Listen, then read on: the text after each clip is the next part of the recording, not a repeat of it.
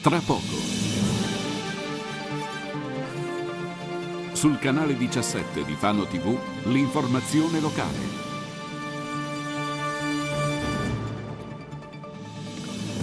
La morte del piccolo Francesco, ascoltato dall'ordine il medico del 118 che visitò il bambino prima di portarlo in ospedale.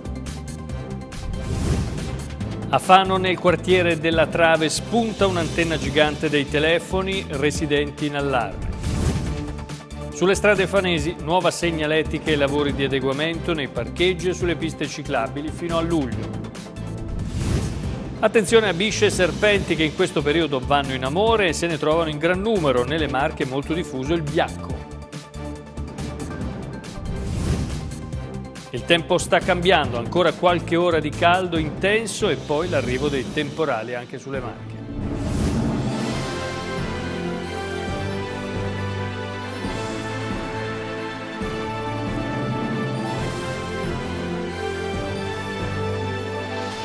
Questo è il telegiornale Occhio alla Notizia con Marco Ferri.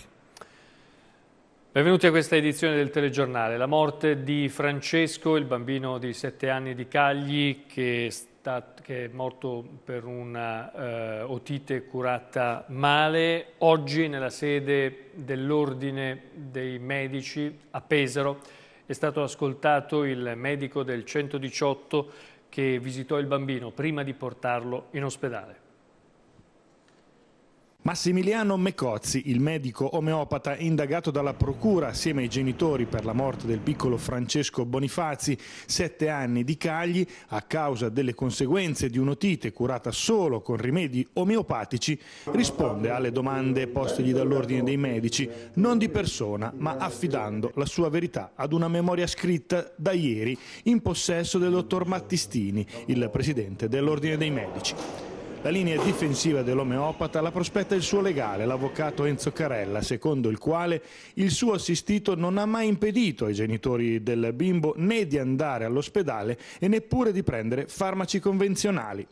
Fatto sta che nella tragica notte del suo ricovero egli parlò con il medico del 118 che a luna di notte arrivò in casa dei Bonifazi perché il piccolo Francesco versava in uno stato di semi-incoscienza, il quale gli disse che il bambino era in codice rosso per gravi deficit neurologici ed è stato proprio il dottor Mirko Volpi del 118 nella mattinata di oggi a spiegare al presidente dell'ordine quanto accadde in quei convulsi minuti nella casa dei Bonifazi con la madre che gli passò il cellulare per parlare con il Mecozzi perché non sapeva che cosa fare. Questa mattina abbiamo sentito il collega Mirko Volpi eh, che si è reso disponibile a collaborare con, con l'Ordine dei Medici eh, abbiamo avuto un'audizione di circa tre ore in cui il dottore ci ha spiegato come sono andati realmente i fatti. E adesso eh, abbiamo in programma venerdì, su richiesta dell'avvocato della famiglia di Francesco, abbiamo in programma l'audizione dei parenti. E quindi come vedete stiamo continuando le indagini per quello che possiamo fare in attesa di raggiungere il clou con la convocazione della commissione medica che sarebbe la commissione di disciplina dell'ordine che si riunirà probabilmente mercoledì della prossima settimana, ancora non l'abbiamo convocata perché chiaramente aspettiamo di sentire i parenti del, del piccolo Francesco. Incidente stradale questa mattina sulla statale Adriatica 16 intorno alle 10.30 all'altezza di via della Galassa, la strada che conduce a Ronco San Baccio. Due mezzi coinvolti, una Fiat Punto, vecchio modello e un Fiorino che per cause ancora da stabilire si sono scontrati provocando diversi danni. Lesi gli occupanti dei due veicoli che hanno deciso poi per la constatazione amichevole. Sul posto la polizia locale di Fano che ha gestito il traffico e le lunghe code che si sono formate soprattutto in direzione Pesaro. I lavori di adeguamento di un impianto di telefonia mobile nella zona della Trave a Fano hanno messo in agitazione i residenti che temono un aumento della potenza dei segnali e di conseguenza un pericolo in più per la salute.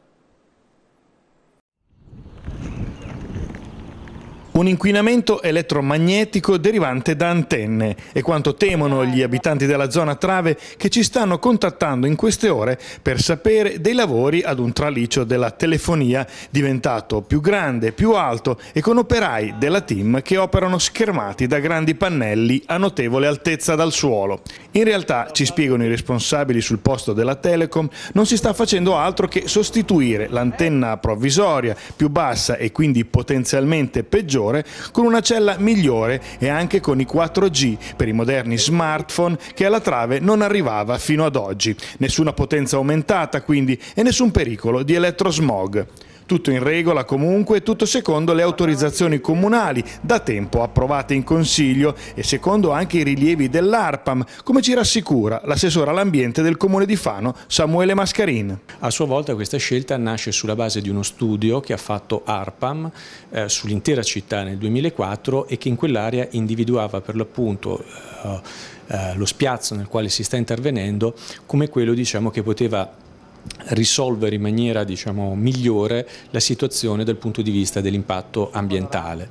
Eh, ricordo che da questo punto di vista noi abbiamo fatto anche un incontro aperto alla cittadinanza il 15 dicembre del 2014, quindi ormai qualche tempo fa, proprio per illustrare le caratteristiche di questo intervento che si stava all'epoca prospettando come ipotesi e che oggi trova una sua attuazione. E comunque sia grazie a una convenzione che noi abbiamo attivato con ARPAM eh, abbiamo un monitoraggio di tutte le antenne su tutto il territorio del comune di Fano tutti gli anni, quindi abbiamo un monitoraggio annuale di tutte le antenne.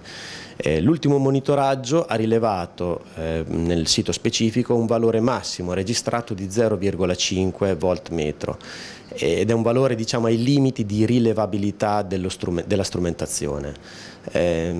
Per diciamo, tranquillizzare i cittadini all'interno di questa convenzione noi abbiamo comunque sia un servizio, se vogliamo, a domicilio, ovvero tutti i cittadini che ne volessero fare richiesta possono diciamo, contattare l'ufficio ambiente per richiedere un monitoraggio all'interno delle abitazioni, questo a scanso di qualsiasi diciamo, eh, paura che ci può essere in ordine all'installazione delle antenne. L'associazione fanese eh, L'Africa Chiama propone ai giovani diversi progetti legati al servizio civile in Italia e all'estero. Un'esperienza concreta nella solidarietà internazionale che ha l'obiettivo di stimolare un senso di cittadinanza attiva nei volontari. È questa l'esperienza che l'ONLUS L'Africa chiama offre ai giovani che decidono di impegnarsi nel servizio civile. Allora, tu sei partita con il servizio civile e poi sei rimasta qui, insomma. Sì, esatto. Io ho fatto il servizio civile presso l'Africa Chiama l'anno scorso ed è stata un'esperienza altamente formativa sia dal punto di vista professionale che personale e quindi sono rimasta anche quest'anno con un eh, part-time qui e mi trovo benissimo. Un'occasione per mettersi in gioco, dunque, e rafforzare le proprie competenze rispetto all'ambito del progetto, ma anche le doti relazionali e la conoscenza delle tematiche globali, scegliendo un progetto in Italia in cui i volontariati avranno l'opportunità di contribuire alla realizzazione sul territorio attraverso attività di integrazione, sensibilizzazione e informazione attività principali che abbiamo portato avanti sono state il dopo scuola per figli di genitori stranieri. Abbiamo raggiunto un buon numero, 15 ragazzi e bambini che hanno partecipato. Io nel 2011 eh, sono partita per l'Africa per un periodo breve di, di volontariato in Kenya in particolar modo e da lì sono rimasta insomma in questa grande famiglia che l'Africa chiama e ho anche deciso di fare servizio civile. Oppure un progetto all'estero in cui si potranno impegnare come operatori della solidarietà internazionale aderendo al progetto Caschi Bianchi, attivo in aree di conflitto sociale per la tutela dei diritti umani. Il bando di quest'anno scadrà il 26 di giugno, c'è possibilità di inviare la domanda tramite raccomandata, tramite posta certificata oppure di portarla direttamente qua a mano. Anche quest'anno l'Africa Chiama cerca sei volontari per l'estero, due per ogni paese, quindi Kenya, Tanzania e Zambia, e quattro volontari per la sede in Italia. In questo periodo eh, è facile imbattersi in qualche eh, serpente di dimensioni più o meno eh, grandi. Nella maggior parte dei casi sono innocui, anche se un incontro ravvicinato con loro non è mai piacevole. Solitamente non si fanno vedere, ma con la bella stagione anche le bisce hanno il desiderio di riprodursi e sono, diciamo così, talmente distratte da non curarsi di quello che succede intorno a loro. Per questo non è difficile incontrarle anche in centro all'ora dell'aperitivo. E sarà così almeno per altre tre settimane, dopo le quali torneranno a nascondersi. A parte lo spavento iniziale, però, bisogna ricordare che i serpenti indicano un ambiente sano perché mangiano i topi. Nell'antichità erano considerati simboli di sapienza. In India sono animali sacri. È infatti un cobra che fa ombra al Buddha in meditazione nelle raffigurazioni religiose e non tutti i serpenti sono velenosi o pericolosi per l'uomo. La Sardegna è la sola regione italiana nella quale non vi sono vipere, una delle specie più velenose e pericolose per l'uomo, anche se fare una distinzione tra diversi tipi non è per nulla semplice. Le vipere si possono ritrovare ovunque in Italia, hanno una testa dalla forma triangolare, colore tendente al marrone o al grigio con tratti più scuri. È comune trovarli in luoghi in cui cui l'erba cresce molto alta, in modo tale che possono trovare facile nascondiglio riparandosi dal sole sotto le pietre. Non è velenoso invece, ma è molto diffuso nelle Marche, un serpente veloce e aggressivo, il biacco. Lo si può trovare sia di colore nero che giallo e può superare i 150 cm di lunghezza. È un cacciatore velocissimo, agilissimo e se morsi ce la si può cavare con qualche graffio e qualche goccia di sangue. Beh, insomma, allora, adesso invece eh, torniamo sulle strade, ma per parlare di segnaletica, perché eh, ci sono dei lavori in corso a Fano sulle strade per la nuova segnaletica, per la sistemazione di alcuni parcheggi e anche la sistemazione delle piste ciclabili. Sono i lavori che interesseranno appunto le strade fanesi per alcune settimane. Sono iniziati ieri i lavori di rifacimento della segnaletica orizzontale in alcune arterie cittadine. Si è partiti con i primi interventi in via Boscomarina, via Vittorio Veneto, via Bazzia e via Togliatti. Si procederà nei prossimi giorni poi con l'adeguamento dei parcheggi in via Roma nell'intersezione con via Togliatti e a San Lazzaro. Buone notizie anche per i ciclisti. È stata infatti completata la pista ciclabile di Viale Adriatico vicino al Pesce Azzurro e ripristinato il transito delle bici sul ponte del canale Albani. Operai al lavoro anche lungo le banchine stradali per eliminare sterpaglie ed erbe infestanti, in un'operazione complessiva che permetterà di migliorare la viabilità e garantire il decoro urbano per gli occhi dei fanesi e dei tanti turisti che stanno arrivando per l'estate.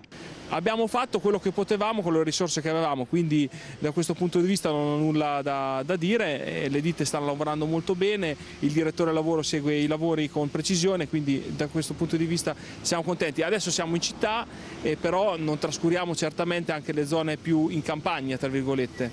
Eh, per cui eh, al di là dello sfalcio a mano viene fatto con i mezzi nelle zone più periferiche.